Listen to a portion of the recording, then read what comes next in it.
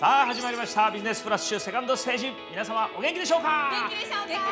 元気しておりますさあてあれちゃん今回の放送からですね、はいこの番組でサポートしていただける小野木理恵様ではいす理恵様になっちゃいましたけどよ小野木理恵ですよろしくお願いしまますすさて早速なんですがはい、うんさあやのちゃん、んお二人の趣味って何ですか趣味。い。きなり行きます。はい、あのー山の中にいることも海の中にいることも好きなんですけども、ええ。趣味にはならないから映画を見ることは趣味になりますか？趣味です。映画大好きでどのぐらい見られるんですか？いやー週10本。わあ8本ぐらいか10本はオーバーかな？8本ぐらいかな？大体家のソファに座ってるとずっと見ちゃうし 仕事の準備してまた帰ってきて寝不足です。これはすごい立派な趣味ですね。趣味ですかやっぱり、はい私はなんだろうなんか地方独特の調味料を使って料理すること。えに最近ちょっとハマってます。ー、例えば？なんかそう石川県のいしる、いしる？いしり？はいいしりっていうそうしょうお醤油みたいな魚醤最近発見しましてそれでひたすら料理してます。僕は柚子胡椒だとかいろんなスパイスをねあの空港で買ってくるだとか駅で買ってくるのは好きなんですよあ買ってきて？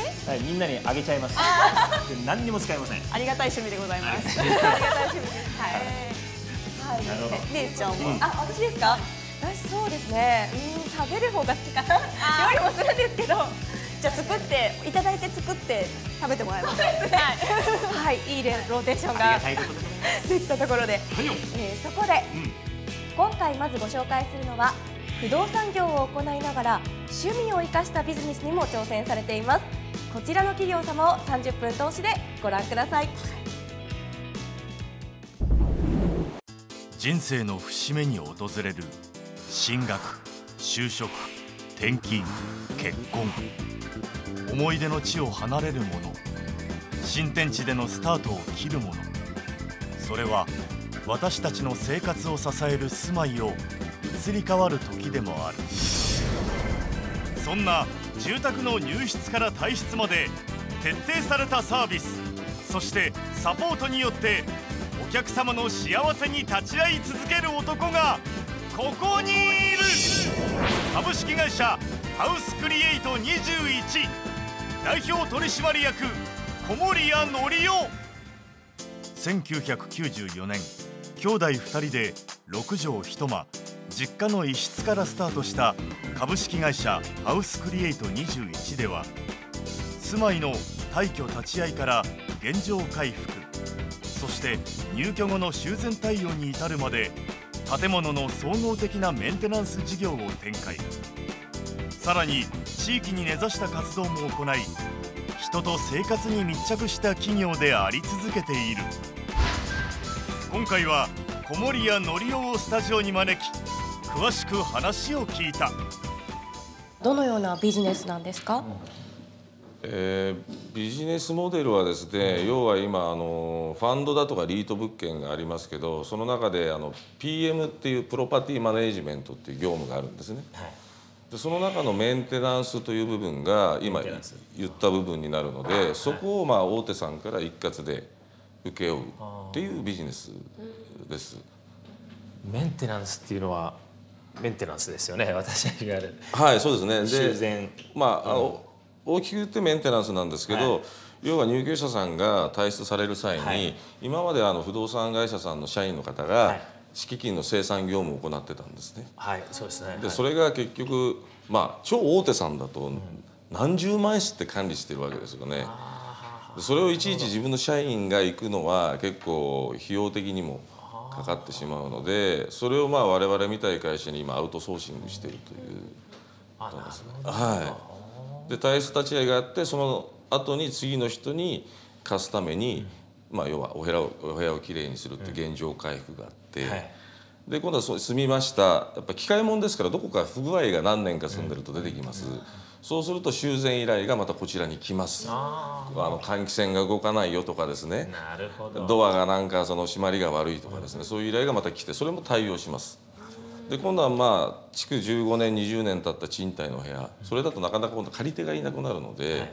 それを今度はバリューアップ工事をして今風のお部屋にして家賃を少し上げてそれをまた貸すとまあ、いうような工事を請け負ってるまさしく全部ですね。全てです すべてですね。それを全部合わせせてメンテナンスということをなるほど。プロパティマネージメントの中ではメンテナンスと言ってます。はい。うんそうしたあのメンテナンス業務のはい。一括依頼を受けるようになったきっかけは何だったんですか、えーまあまあ一つはそのさっき言った大手さんが、まあ、要はその自分のところで、えー、退去立ち会いをすると人件費的にすごいかかるので、時間もですね、えーアウトソーシングをしようっていう、まあ、いろんな情報があってですね小さい不動産会社から始まって徐々に会社のやっぱりスキルも上げ、まあ、コンプライアンスのところを整備し、まあ、大手さんにも相手にされるような、まあ、体制に持ってったっていうところですね。はい。まあ、要は大手さんというのはコンプライアンスがものすごいうるさいので、あのー値段とかっていう話じゃないですね。安かろう悪かろうじゃなくてこんだけの金額払うからこんだけの品質を保ってよっていうのが大手さんなのでそのクオリティを保つのが結構大変ですね。我々はた確かに体質立ち会いをやってその見積もりを作るのは我々ですけど実際工事やるのは職人さんたちじゃないですか。はいはい。だ彼らも教育していかなくちゃいけないんですね。ああなるほもう極端な話トイレの裏側まで鏡持って検査されますから。どそこまはい。でやるんだ、扉のこの縛り締めのこの隙間の部分もミリ単位でやられますのでは少しでもずれてたりとかしたらもうクレームになります。でまあ逆に言ったら大手さんも自分のところのそのブランドって言いますかね、そういうのをやっぱり保つためにそういう品質っていうのはすごいこだわってます。それが安心につながるんですね。ここに頼めば大丈夫みたいなあのうちが今受け負ってるのはほとんど超高層のビルばっかりなんですね。まあ例えば44階建てで、はい部屋数が824室あって、はい。最上階の部屋が300平米ぐらい。家賃300万とかですね、わ結局本当にそういうところに住む人っていうのは結構細かいんですよ。品質にもすんごい細かいので髪の毛一本落ちてでも言われちゃいますから。はいそうですか。はい。ああの現在そのメンテナンス業務はどのぐらいの世帯物件数になってるんでしょうか？今ですね部屋数でいうと3万5千室ぐらいお預かりしてます。はい。お預かりしてます。いやそれどれぐらいの人数がいればそれがどのぐらいの人数っておかしいか。退出率っていうのが大体決まってるんですね年間、はい。大体2割ぐらいです。が退出するんだ。ああ、はい。そうかそうかそうかそうするとまあ大体年間7,000室ぐらいをまあ要は退去立ち会いやって現状回復やってみたいことをずっと繰り返してるんですね。6畳一間からスタートした事業は今や多くの大手の物件を取り扱うようにその急成長の理由について聞いてみたえーまあ、同じような業態というのは結構ありますけど、まあ、ある程度そんだけの規模をやってる会社っていうのは、まあ、多分都内にまあ3社4社ぐらいですかね。ですからまあある意味そのストック産業はい。ということになるんですね。その物件が売られない限りは、まあ、正直言って営業しなくて黙ってくるわけですよ。ね。出るたびに黙ってくるわけで、だけど信頼が必要ですよね。そうですね。継続していくためには、はい。最近緩んできたなとかさ。ね我々もほら気をつけないとな。我々も言えることなんだから あーちょっと最近緩んできたなみたいなね。だけどその信頼が一番ですもんね。そうですね、ですからまあ年一回やっぱり我々も評価されます。通信簿みたいのがありまして呼ばれてですね。ああ俺嫌いや。通信簿。もう必ずそういうのがあるんですね。そしてコモリアは急速に進化する IT 社会の中企業の情報セキュリティのレベルを高める ISMS を取得。このような資格が事業にどう影響するのか聞いてみた資格はですね、まあ、当然あの建築業の資格だとか、まあ、不動産業の資格だとかあと産業廃棄物の資格だとかっていうのは、まあ、これはまあ当然当然なんですね。これないとできないので。ただ我々が他社さんと違うのはその ISO をやってるんですね。ISO はい。ISO っていうのは国際基準の何々っていうことなんですけどうちの場合だと ISO の9001がこれが国際基準の品質です。はで ISO14001 っていうのがこれは国際基準の環境に配慮した会社っていうことです。で ISO の27001っていうのは情報セキュリティマネージメントシステムって言って会社にある全ての情報を国際基準で管理してますと。まあその中に個人情報も入りますけど、はいはい。この3つを持ってる会社って同じ業態じゃいないんですよ。日本に。いないんですか？いません特に情報そのセキュリティという部分は非常にうるさいです今、まあ、個人情報に関することっていうのはね。下手したら犯罪になっちゃうわけですよ。我々全部預かってるんですね。体質立ち会いやるために全部契約書から何から預お預かりしてるのでその中には全て情報あるわけですよね。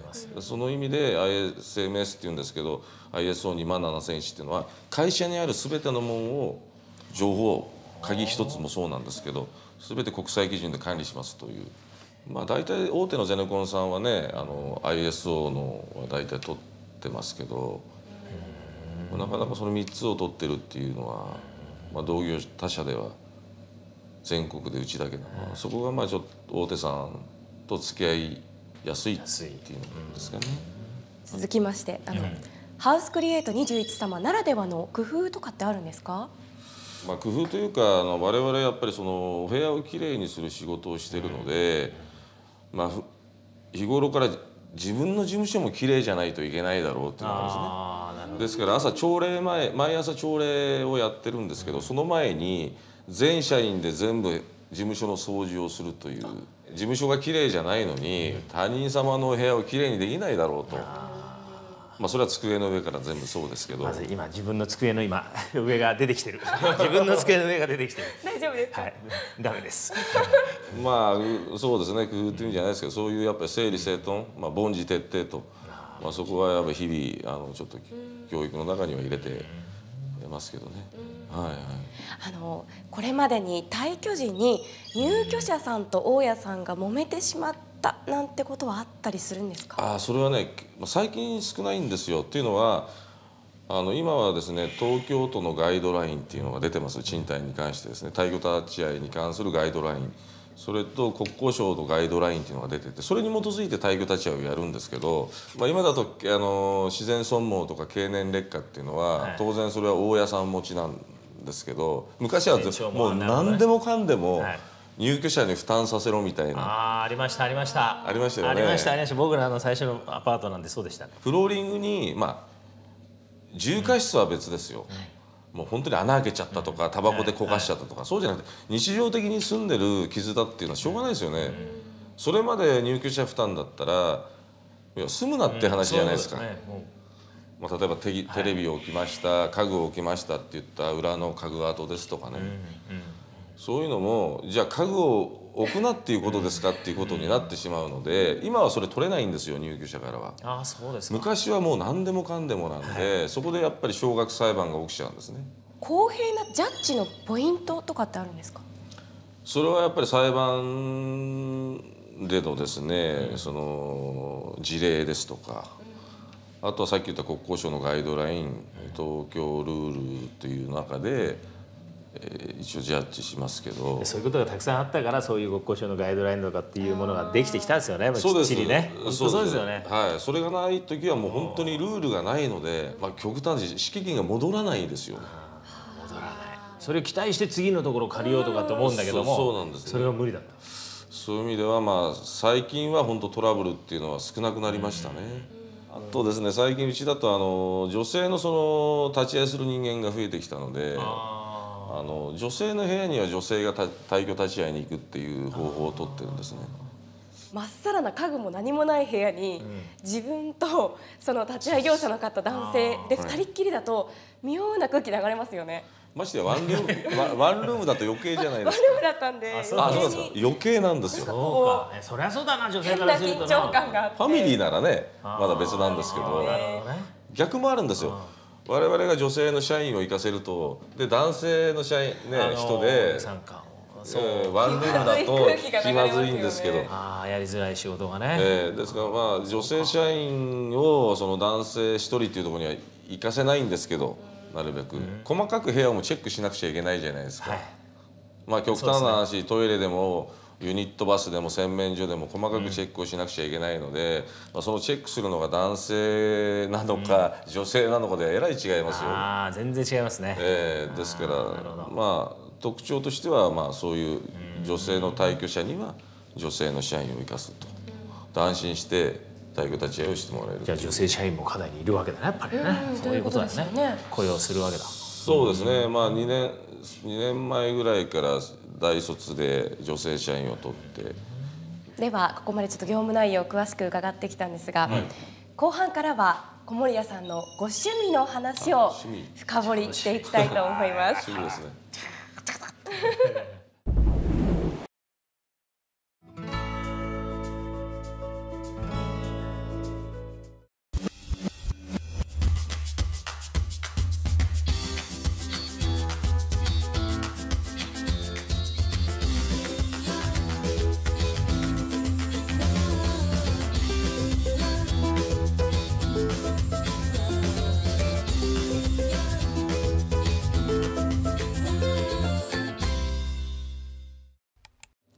後半は小森屋社長のプライベートに迫ります。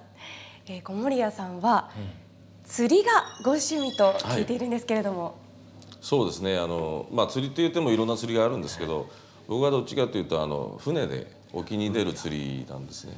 水釣りだ。は大きいものが釣りたいとかそういうあれですい、か？そうですね。まあまあ旬の美味しい魚を釣りたいなっていうそれもだいぶ前からやられてるんですか？そうですねもう20年ぐらいも釣りはやってます。はい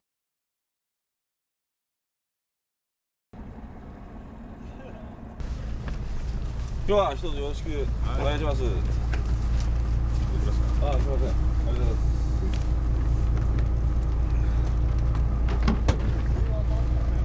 す。よし、船長ですから。よろしくお願いします。最高に釣らせますんで。皆さん大物釣りたかったらぜひ大成丸お願いします。全然早起きはやっぱ釣りじゃないですか早起きは苦じゃないですね。普段の日でも5時半には必ず起きてますからね。はい。こちらに、仕事仕事してるから。はい、行ってきます。はい、はい、行ってきます。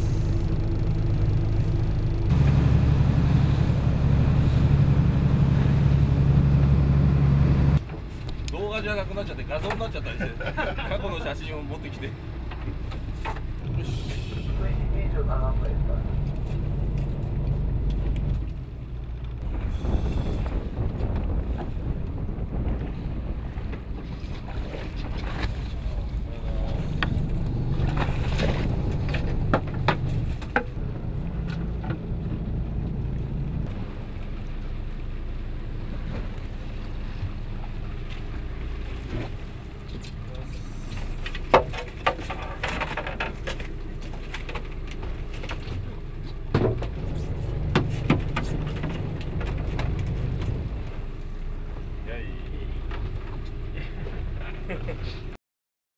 お魚マイスターも持ってらっしゃるそうで、はい。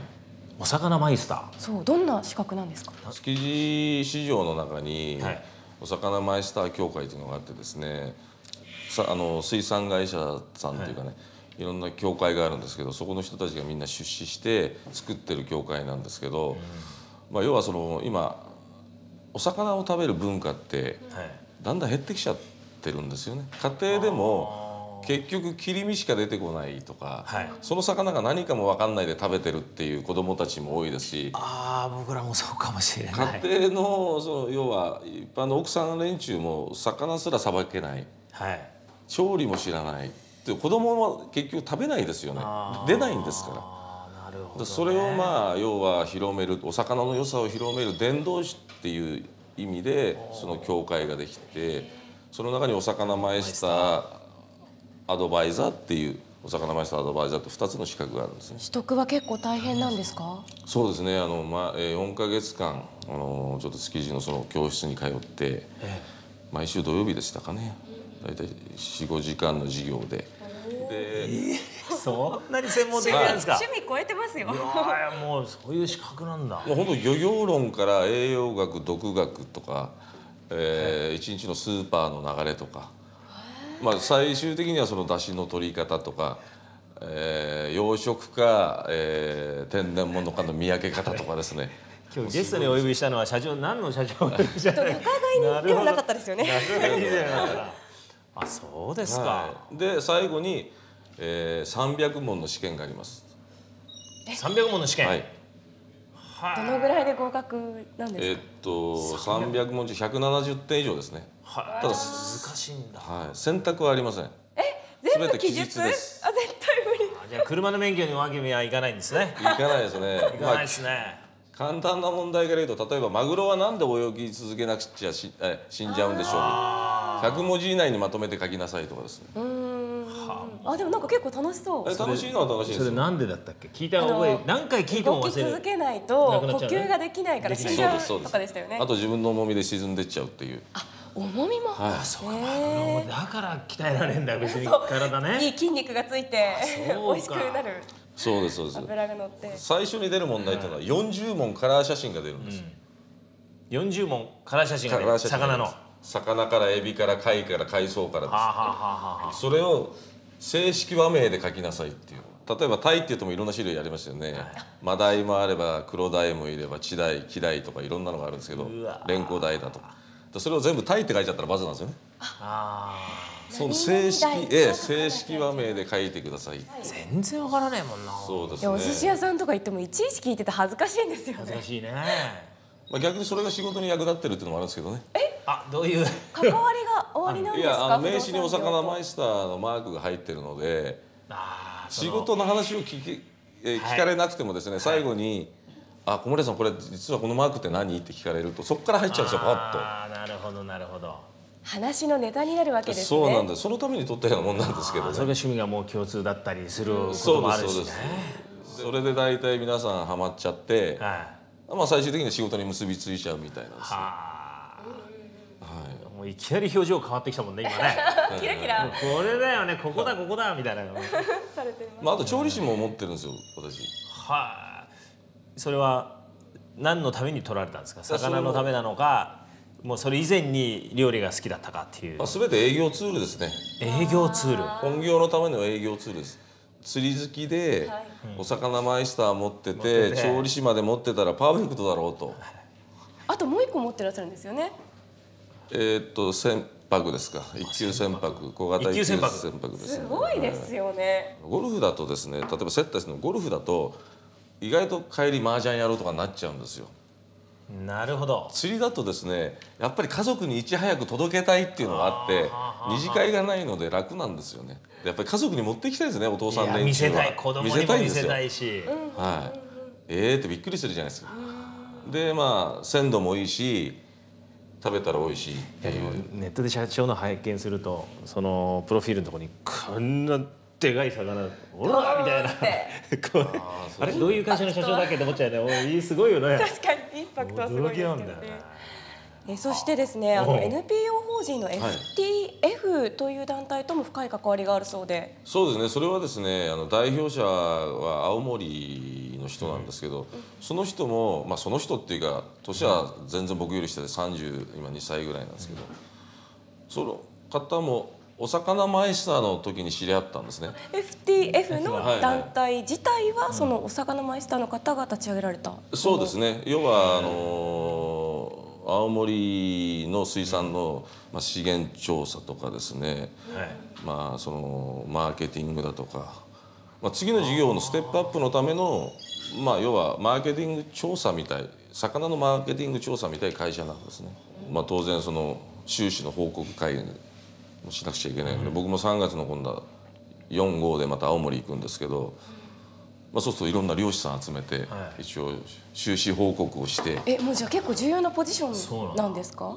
まあそそこそこですね。はい。まあ、僕は東京の方の営業担当なんですけど、ああじゃあもうそういう会社なんだよな。そう二足のわらじで生きてらっしゃる感じたですね。だそこはあの、まあ、あくまでも次のステップに行くための、まあ、市場調査っていうことですね。なるほどねはい趣味の領域をもうとっくに超えてるんですけどもそれがツールとしてビジネスの方にもねつながってきてるっていうのはためにためになるお話だねそれ。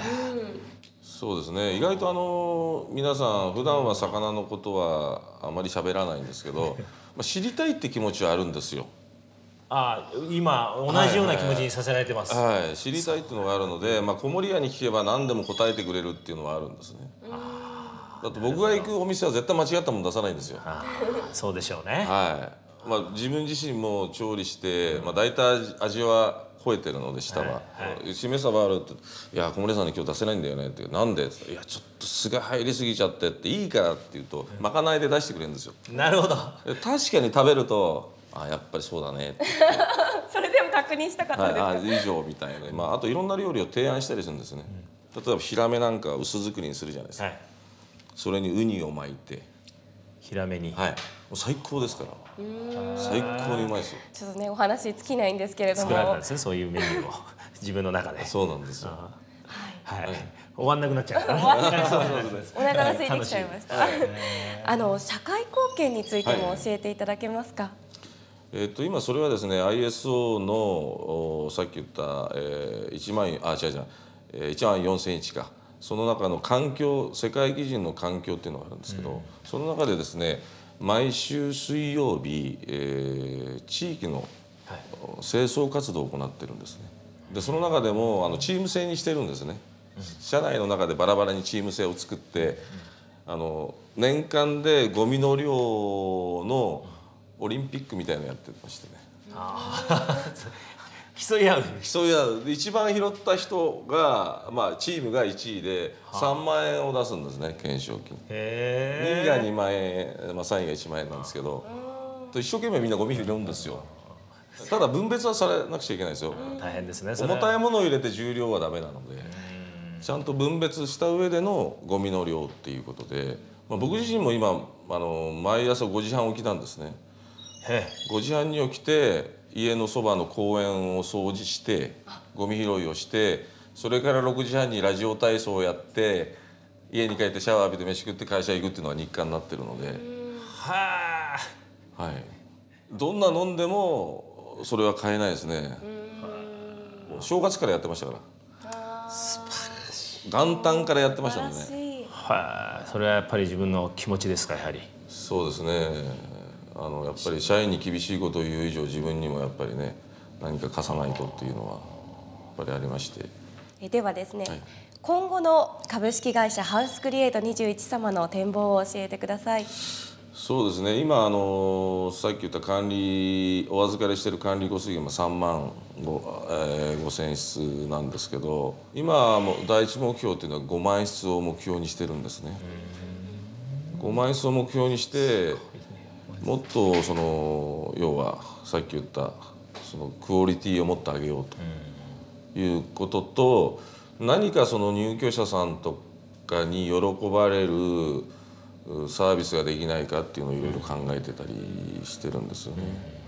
常に新たな経験を追い求め出会いそしてビジネスを生み出し続ける小森屋則夫そんな男が心に留める格言とは？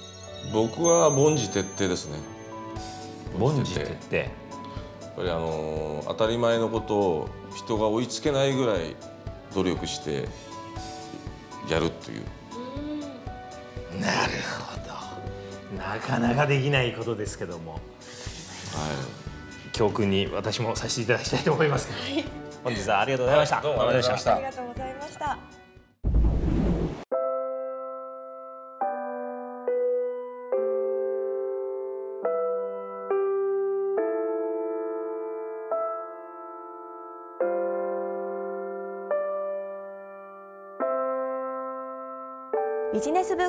レクション。これまで1万人以上の資産家いわゆるお金持ちから相談を受け2000人以上の相続税の税務申告を行ってきましたがその結果として分かったことがあります。それは億単位の資産を持つ人は皆お金の残し方に不安を抱いているということです。今回のビジネスブックコレクションおすすめの本はこちら。お金持ちはどうやって資産を残しているのか。この本を書いたのはランドマーク税理士法人の清田幸宏さん。この本は主に資産の残し方について清田さんが実際に行った相続贈与事業承継節税などの事例を通して分かりやすく解説してくれる一冊です。それでは今回のビジネスブックコレクションはここまで。また来週。